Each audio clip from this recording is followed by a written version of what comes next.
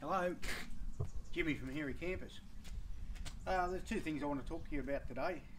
One, this documentary that we're trying to do, uh, 75 years of um, since the end of the Second World War. We're still running into problems with that with COVID-19, um, and I suppose it's not a problem. It's one of those things we've got to get over. But we're trying hard.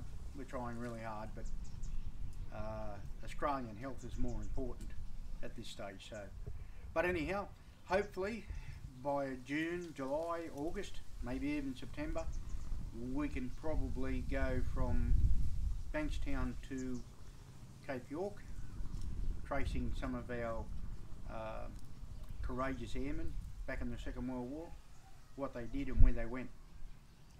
Now, the second thing I wanted to talk to you about was how much it does cost and how daunting it seems to be for somebody to go on a camping trip.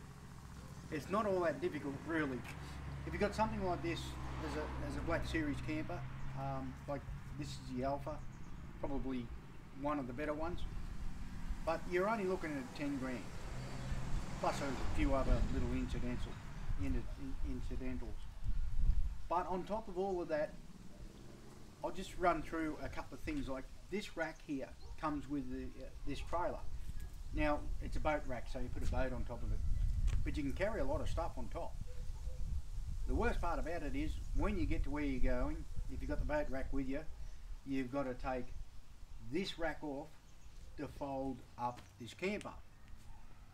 Um, to me, that's a bit silly because you can carry a lot of gear on top. Like you can carry firewood as you find it. You can carry extra fuel. You can carry extra water. You can carry extra tyres. Um, or what most people do is strip the boat rack down to a bare camper and leave it at home. I really can't see the sense in that either. So this these gas struts here, there's one here and one on the front, are my design. They came from a from a bloke here in Orange that actually does this for a living, and he's really really good at it. So if you think you want to do this with your um, your Black Series camper, give me a you know send me a message on um, uh, at gmail.com and uh, I'll pass you on to Peter, uh, who's got a real lot of experience when it comes to these things, and uh, you know his advice is is just yeah, it's outstanding. We had three goes at getting the gas right, which he said we would, and that's part of the cost. You know, it's fifty dollars each for each gas strut, but you'll see how well it works. You know, and it does work really well. So basically, before I do that, I just want to show you something here. Anderson plugs. These Anderson plugs, you can hook up without worrying about positive and negative, negative, positive. Because if you hook them up the wrong way, you'll get a short, or you'll blow something up, or worse the lot is that regulator that controls everything in there, you'll destroy it. Now, that's negative at the top, and this is positive at the bottom. That's the way they go together, and that's the only way they'll go together. Now, if you turn them around, they will not go together. It's just impossible. So if you're trying to push this together, or someone else that hasn't got the experience, push them and click them. That's how they go. They're a must. Now we have two of them. We have one here and one on this side. The reason for that is so we can run another solar panel and use that regulator. All right, back to the rack. The rack is a one-man operation.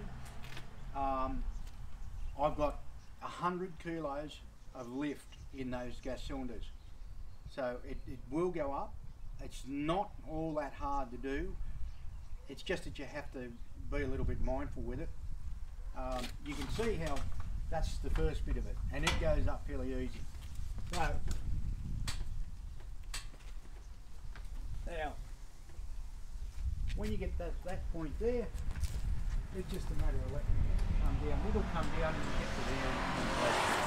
It won't fall down. So those struts work really well. These things here, I'd like to say they were my design, but they're not. I worked with a bloke up in uh, Queensland at uh, up at St George, and he made a lot heavier ones for hydraulic rams in a machine that was working on to lock it out. So basically that goes up underneath the rod there, push that up, and uh, it sits in there. And we've got one up at this end to go in this end here. Now, you can put a little bit of weight on that, not a great deal. The, whole idea of it is, is just to hold that up. Now, if you want to put more weight on top of it, come back down here. Now, every camper that I know knows about these pipes. Cheap as chips. They're from Bunnings. If you put that pole up in there, take those retainers out of there, drop this down to the ground level, you can still walk under it, then you can put all your gear on top. What we'll do, underneath the tarp we've got um, we've got the roof of the annex and the walls and a few other bits and pieces. When we get to where we're going and we're only staying overnight, we'll put this into position here and we'll put all that gear on top without the retainers. They wouldn't be strong enough to hold all that up there and I wouldn't want to try anyhow. Um, but anyhow, we'll put that back in there. That's that's that. Now,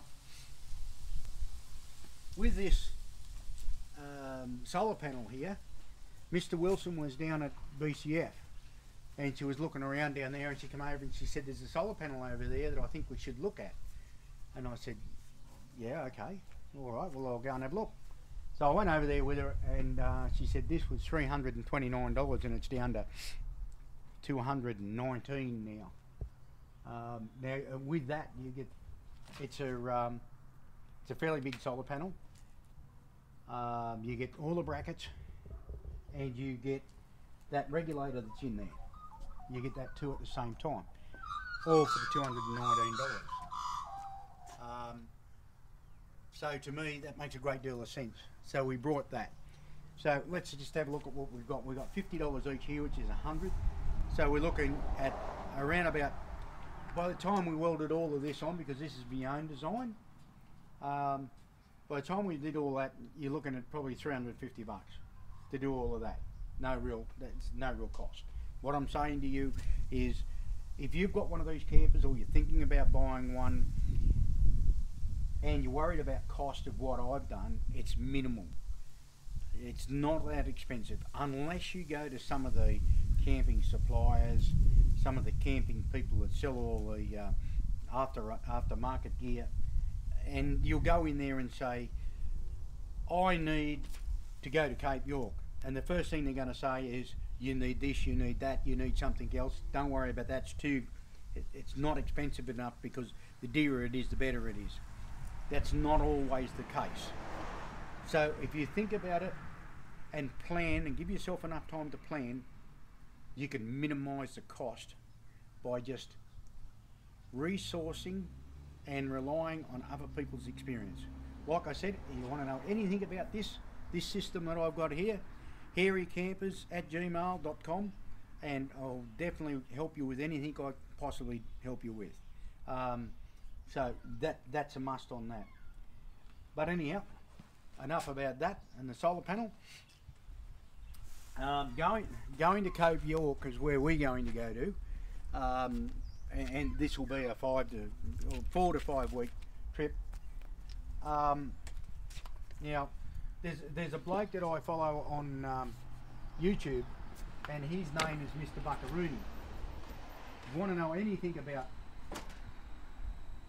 Cape York, he's been there two or three times, I believe, or more than two anyhow. And he's a great believer in you should have hard copies of maps. That's true.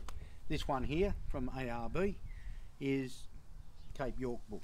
It's all about Cape York. It tells you in there what you can do, where you can go, what not to stick your fingers in, what to be careful of. You know, like here we've got snakes, which is the eastern brown. We've got that up there jellyfish, don't get in the water, snapping handbags, right?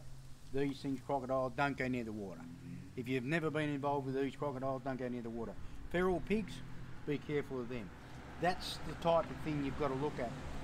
All that type of stuff is in this book. And look, it costs $49.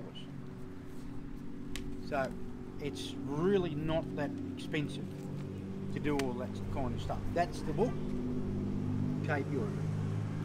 Right, now, why do we have two? Because this is another book that actually tells you where you can camp, free camping or stay at a caravan park or whatever you want to do. It also tells you whether it's pet free, whether it's uh, they've got water, whether they've got sewage, they've got washing machines, they've got whatever, whatever you got. So it's not expensive. It's another fifty dollars, but it's got good maps in it, and so's that one. That's HEMA.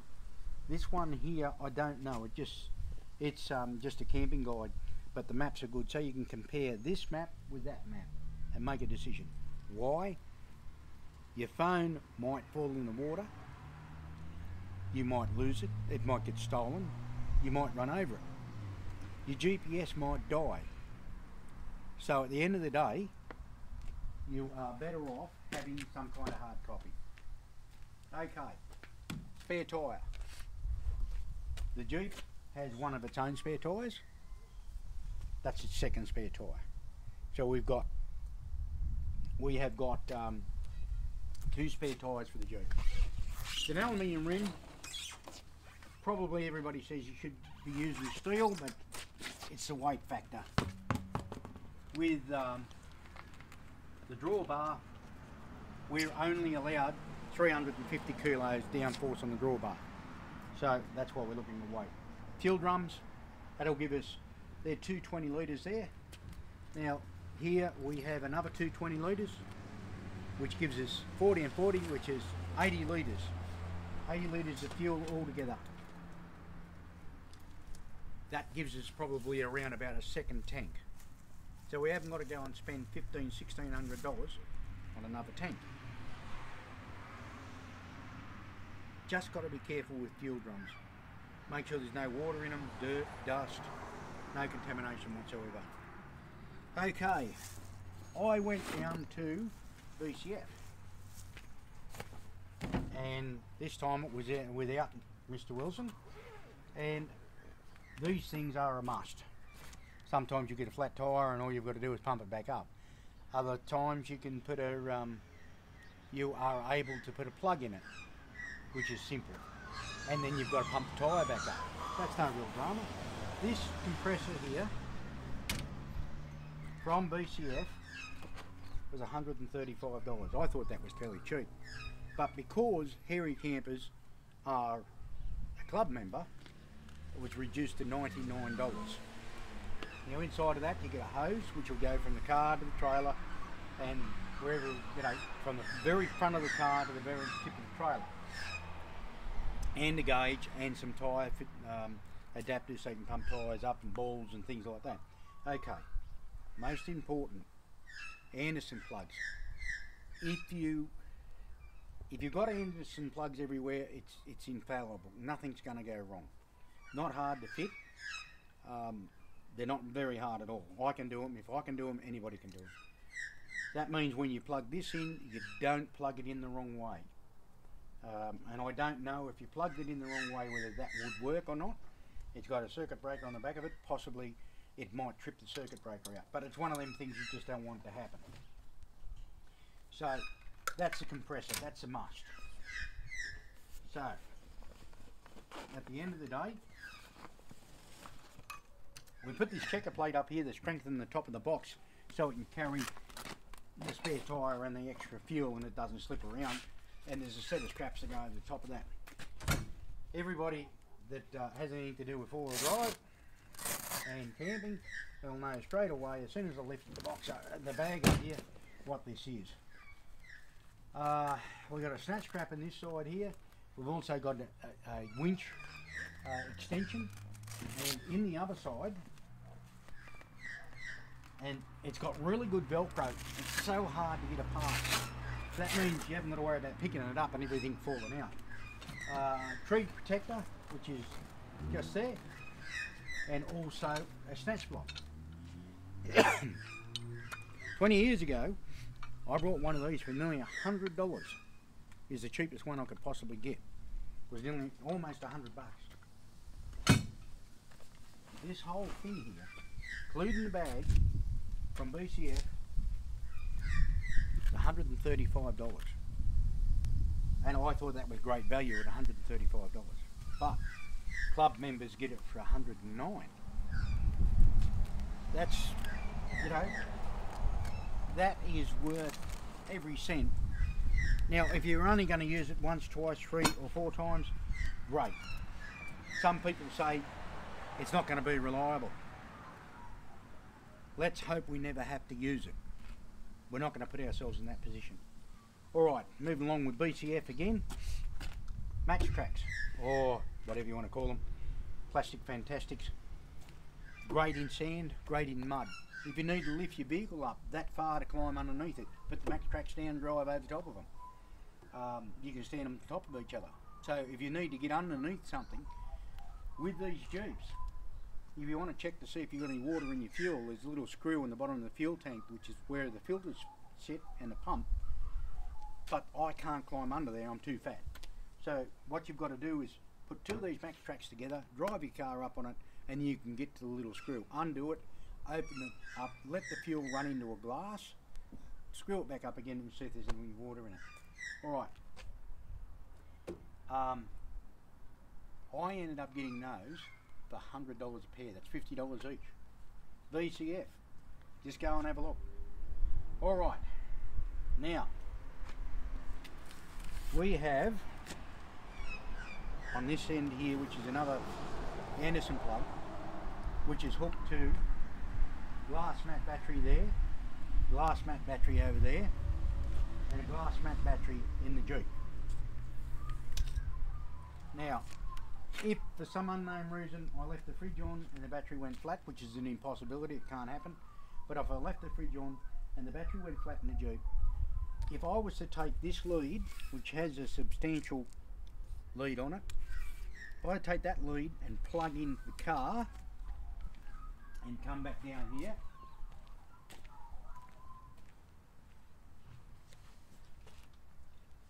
there is a switch right here. Now that's the Anderson plug service switch. If I turn that on there like that, that will charge the flat battery and make it able that I can start the car.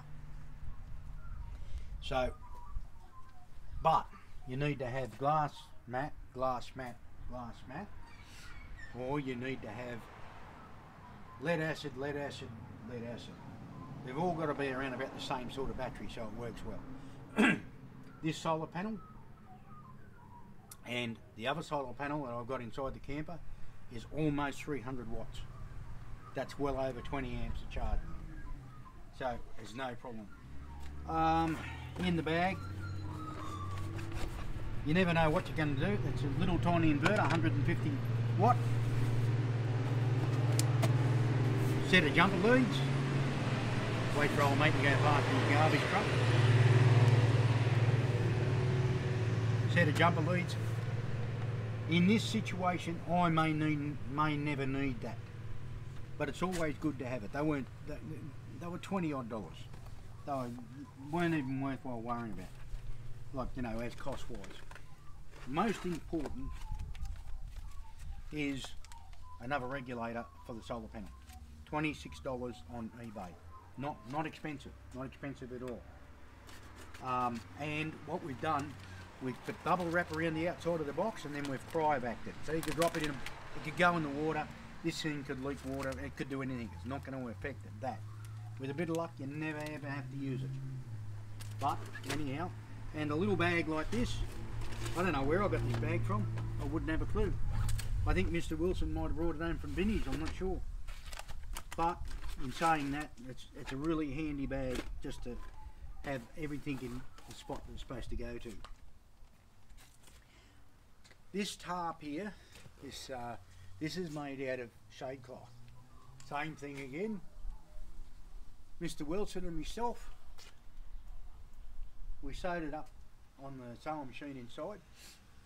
If you don't have this tarp and you've just got all your stuff sitting on the top and it's even strapped down, the wallopers can come along and give you a piece of paper to the effect of about $600. Now that's called insecure loading and there's also points involved in that and I think it's anywhere from from four points to six points. $28 I think it cost us and we bought a little bit of bungee strap here and put that around there. So same thing again. If you want to go away, don't be hamstrung because you think it's going to be too expensive or you can't make the cost or whatever. It's just rely on some of the experience like myself and other people have got in asking the question, do I need to do this? Do I need to go and see these people about buying that? Most times, no. You work out where you're going. Most of these people want to sell you stuff to go to uh, probably the Kakadu, where you're going to get bogged every day and have to dig yourself out. You're not going to go there, or I'm not going to go there. So why why prepare yourself for the worst when you know you're not going anywhere near the worst? All right, moving along. Um, this is pretty good insurance. Um, hopefully I'll never ever have to use this thing, but if I do have to use it, the $1,500 I paid for it, and that's fitted of course, from ARB here in Orange. They done a fabulous job. Like everything is in the spot that it's supposed to be. It doesn't look stupid. They even took me light bar that was here and put it up in here with two brackets. Made the brackets for it. Done a fabulous job. I, I mean, and I am totally happy with it. Really, really happy with it. Um, it's a remote control and it's also a cable remote. So, you know, best of both worlds. Um, that's that's about all I can tell you about it. But like I said, you want to know anything at all, send me an email, hairycampers at gmail.com, and I definitely will answer any question you've got to ask or go to comments. But anyhow, don't forget to subscribe and hit the like button. Thank you.